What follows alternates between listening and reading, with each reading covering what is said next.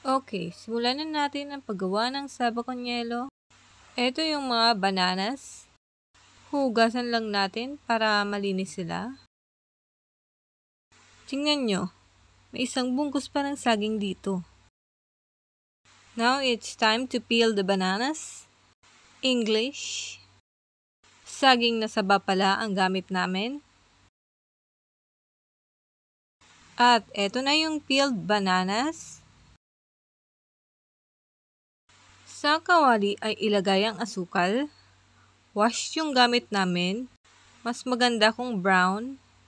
Nilagyan ng tubig. Konting tubig lang. In medium heat.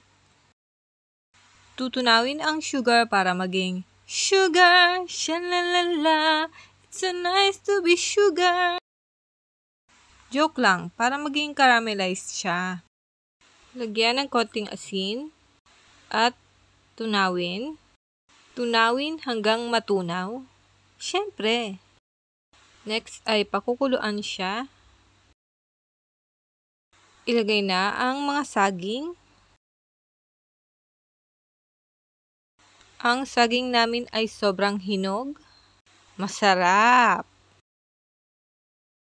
Now, lagyan ng konting vanilla at takpan hanggang sa magkalahati ang tubig.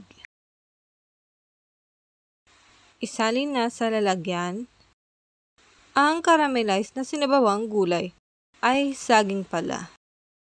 Ito na yung hinain naming saba. Ilalagay na sila sa mga mangkok.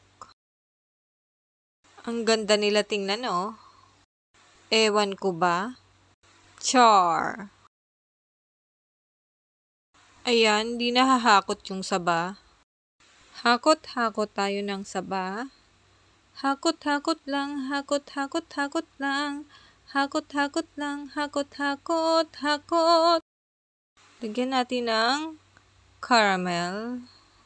Greatest white caramel lang ang may sweet linamnam. Now, let's proceed to crushing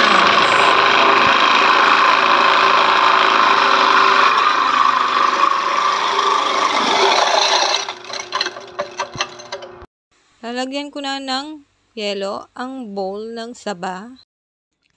Oh. Lagyan na rin ng gatas. Evap ang gamit namin. Lagyan. At nalagyan pa namin ng yelo at ng ibap ang ibang bowl.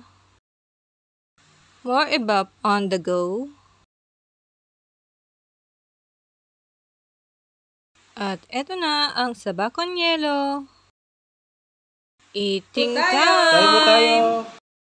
Hello! Kain po tayo! Saba con yelo. Asan yung kutsara ko? Ito. Thank you for watching mga ka-KJ.